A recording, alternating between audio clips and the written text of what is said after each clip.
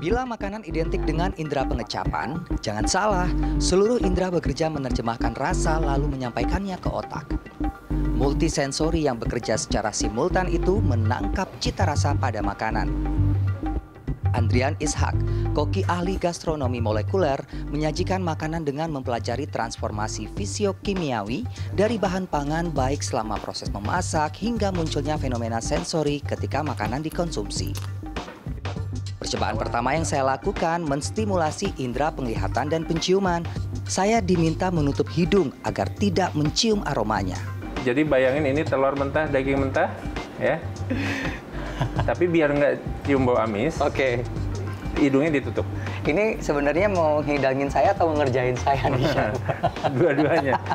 Ya, coba sekarang yang telur mentahnya dulu. Yang telur ya, mentah hidungnya ditutup. Oke? Oh, iya.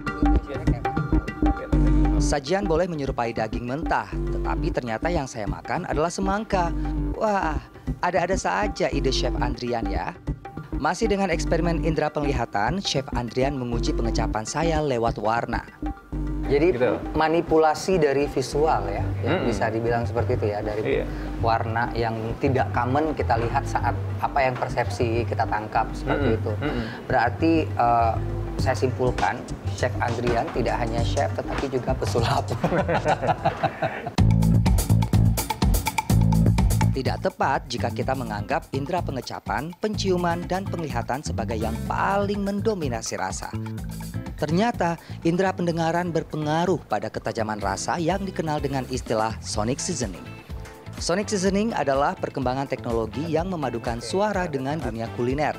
Eksperimen diciptakan sedemikian rupa untuk menguatkan rasa hidangan.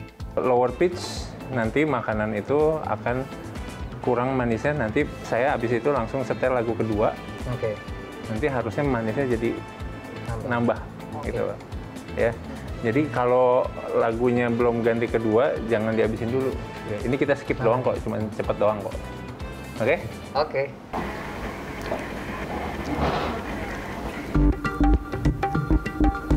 Bukan sulap, bukan sihir. Rasa dark coklat yang saya makan ini seketika manis saat lagu yang diputar Chef Andrian menggunakan nada tinggi. Kok bisa ya? Sama halnya ketika saya mencicipi panganan lokal, kue putu gelas khas Makassar. Nah ini kue putu kan biasanya kalau dijual memang begini-begini kan. Iya, kue putu. Nah ini higher pitch note-nya tadi. Yes. Nada tinggi. Makanya jadi kok kue putu manis banget. Benar, itu juga salah satu yang pengaruh. Nah, silakan cobain. Oke, ini bisa saya ambil langsung. Uh. Nah, itu ada aroma pandan juga kan, jadi Iya, multisensor benar. yang tadi saya bilang kan.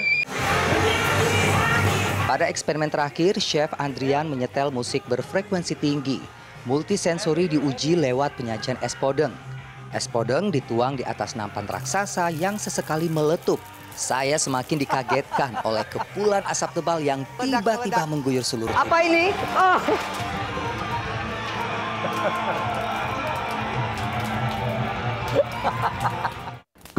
Oh my god.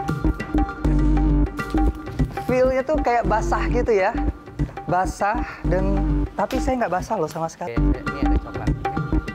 Chef Andrian menjelaskan bagaimana eksperimen es podeng memadukan indera pendengaran, penglihatan, penciuman hingga indera peraba.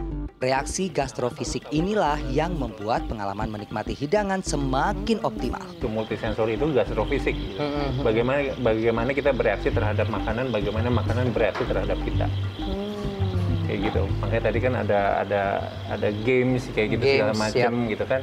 Ternyata kita bisa berinteraksi dengan uh, makanan sebagai controller game kayak gitu-gitu. Sehingga kalau dibilang pengalaman, unik-unikan, eh, seru-seruan, well memang seru, memang unik. Iya. Tetapi sebenarnya ketika kita aware dengan penggunaan seluruh indera, pada akhirnya memang makanan yang kita asup itu cita rasanya memang jadi lebih Iya, iya. optimal ya nggak sih Mm-mm. di momen yang kita Mm-mm. nikmatin itu ya chef. Mm-mm. Dosen teknik biomedis Telkom University Hesti Susanti menuturkan gastrofisika dapat diukur dengan metode ilmiah.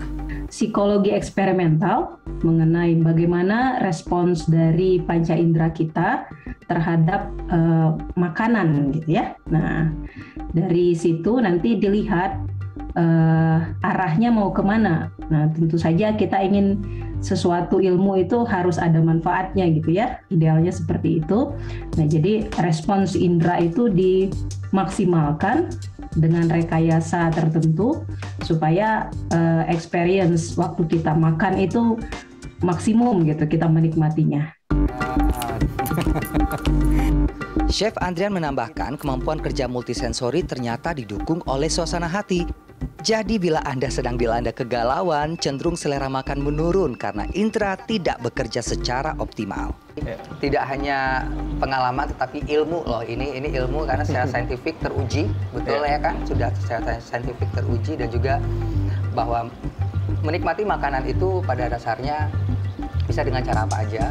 Yeah. Ada cerita di baliknya, ada sensasi apa dan mungkin pengalaman yang mungkin bisa dibagikan pada orang-orang exactly. kita. Thank you, yes. Chef ya.